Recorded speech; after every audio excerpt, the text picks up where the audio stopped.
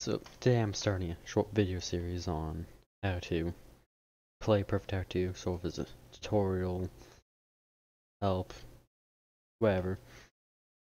So, to start off, if you're going, I'm going to be recording this for the beta, so if you're playing the alpha, you're going to have to get access to the beta, and that's what this video is for.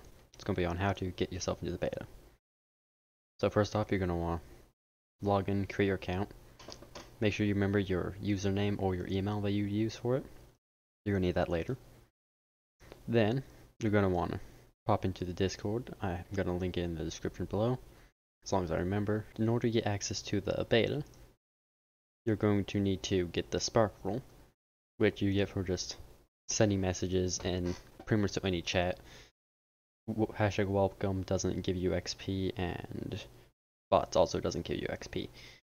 So whenever you send a message, you're going to get anywhere from 10 to 20 XP. And for sparks, the spark rule,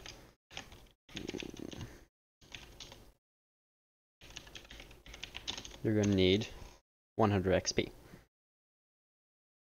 So once you have the spark rule, you're going to want to go to game news and check the pinned messages. The very bottom one is going to take you, if you click the jump, it'll take you to this.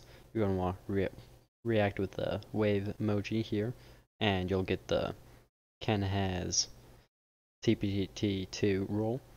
If you don't have the spark rule and you react with the wave emoji, you're not going to get the Ken has perfect 2 rule. If that happens to you, you're going to have to get the spark rule, then just unadd the reaction and then re-add it. It'll give you the access correctly.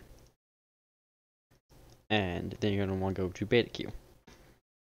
Once you're in the beta queue, and you check the pinned messages, here is just Speedy saying that you're going to want to put your Firesword Studio account name, what you just created your account with, or if you already have an account, whatever your account name is, and just ping Speedy at the end, kind of like all these people here. If you don't know your account name, then you can always DM Speedy your email, and he can manually unlock it for you. Give it some time, Speedy will let you know when you have access and until then, you're just going to have to wait. So, once you have access to the beta, you're going to want to go to, from open alpha, go play beta. This will take you to the beta. then you're going to want to, after it loads, you're going to want to read the terms of use, a bunch of good information here. Just, just accept that. You can also come down here wish list this on Steam. In the credits we have a bunch of just just the general credits. Options, you can just change the music and sound effects if those are default on. And then you can start your new save.